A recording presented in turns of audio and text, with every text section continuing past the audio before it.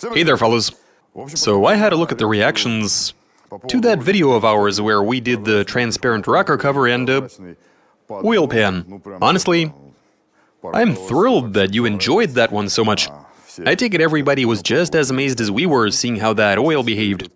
Anyway, we've got a lot of people requesting that we do the same thing after freezing the car. So start the car when it's frozen and see what the oil does when it's all frozen and thick. If you insist. I mean, I'm very curious myself to see what happens. So right here we have a car. The engine is in good enough shape. Just like in that video, we'll start by flushing this one. Then we throw in some new filters, make sure it's nice and clean on the inside, so that we can see everything better. And after that, we install a transparent rocker cover, as well as a see-through oil pan. We'll figure it out as we go. So let's go ahead and freeze that engine, fire it up and observe to see how the oil behaves itself. Let's do this.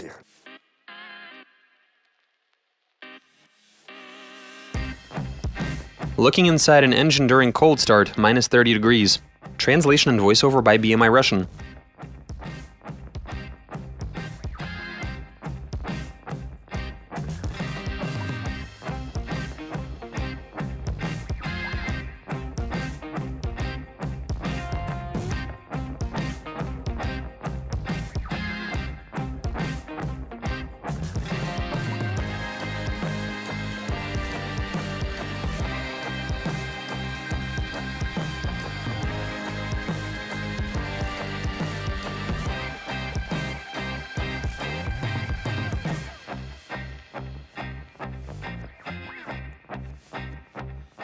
Okay, fellas, I've already mentioned before that we were unable to mold the complete items.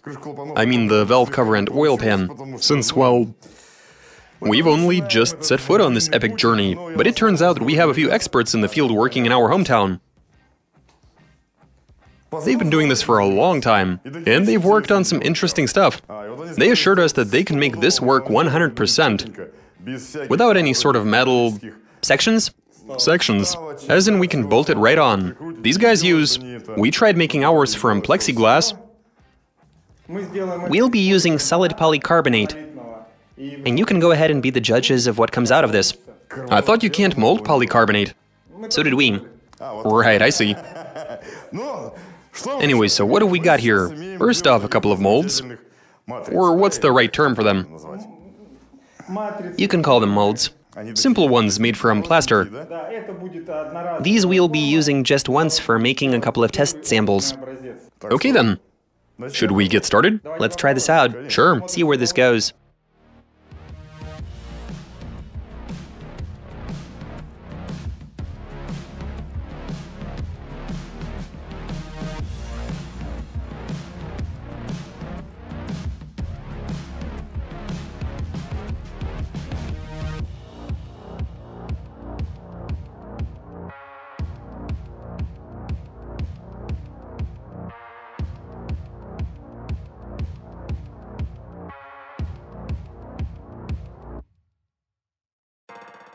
There are a bunch of tutorials out there that show you how this is done, which we've also watched a fair share of, but once we got to work, things don't line up. It seems simple enough on film, but when you try it out for yourself, especially with no previous experience, you run into a few issues. Maybe it's time to pull them out?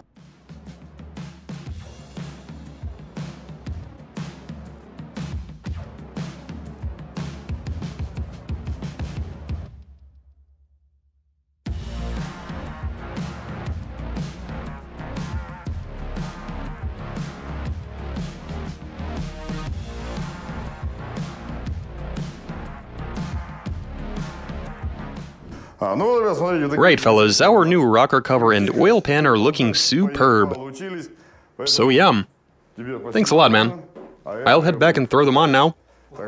So now we install these, pour in some oil, freeze everything to the core, and then we start the motor and look on. We don't know what'll happen, but we're about to find out. The only way to know is to try this out. Let's do this.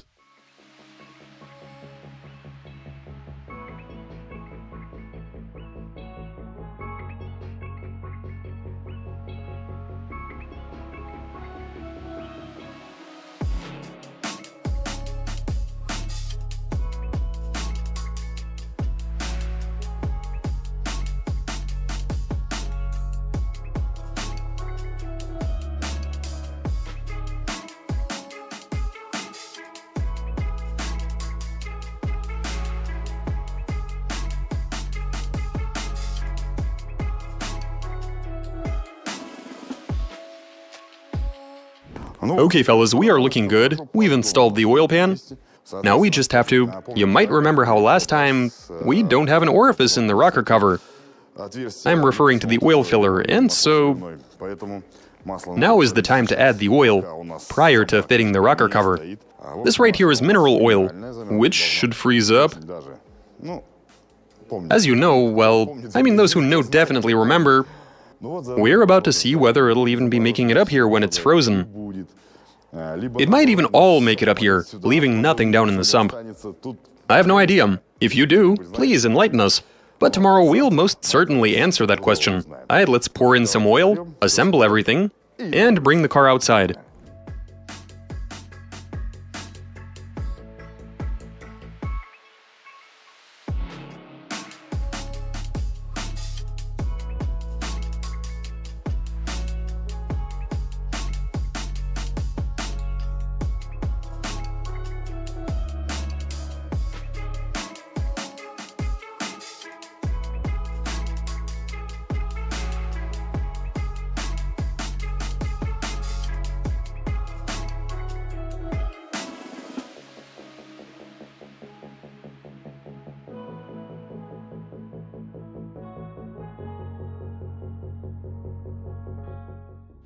Alright fellas, the morning is upon us, everything is nice, just like I promised. It's around minus 30 degrees Celsius outside, and everything has completely frozen over. Let's see. Now that there is the oil. It's about the same thickness as honey, I'd say. Isn't that nice? I like how it's frozen, just like you guys wanted, and all the more interesting for us. Alright then, here's what I suggest we do. Some people out there maintain that. They're like, why should you even warm up the engine? Just fire it up and drive. Well, we're about to do precisely that.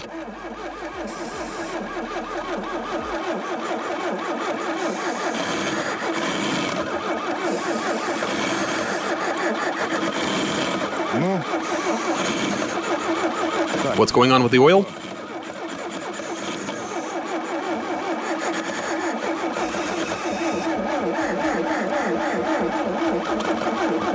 Come on now. The poor thing is having a hard time.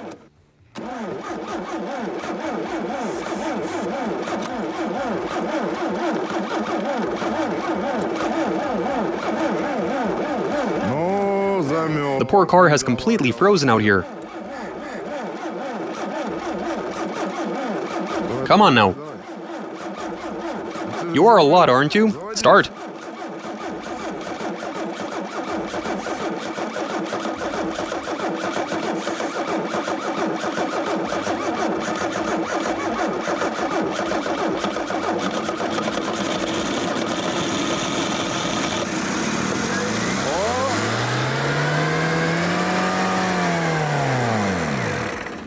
That's it?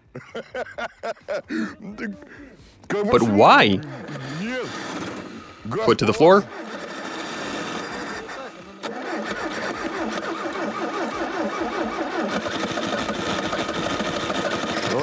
Keep hammering. It is splashing oil though, even if it is just the chain.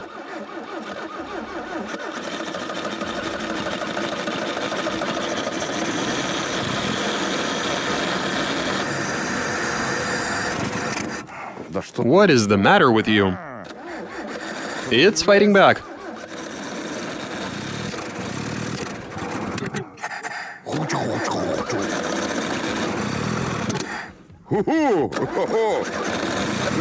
This thing is completely frozen over.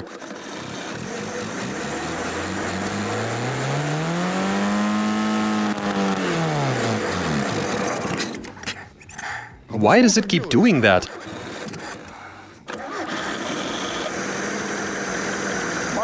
There is no oil up here, aside from what the chain is throwing. Otherwise, it's been running for a bit at decent revs. And I don't see anything. The chain is the only source, otherwise nothing. If you look at the camshaft, it's literally dry. I can only see it splashing around the chain, and that's it. I don't see the sump. Show me something.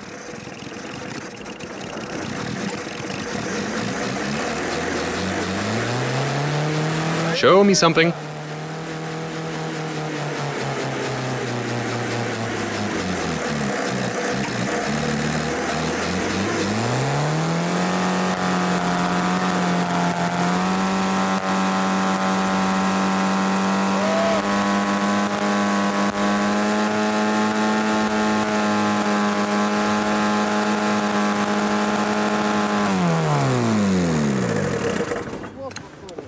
So look here, even at such ridiculous revs, we are looking at nothing.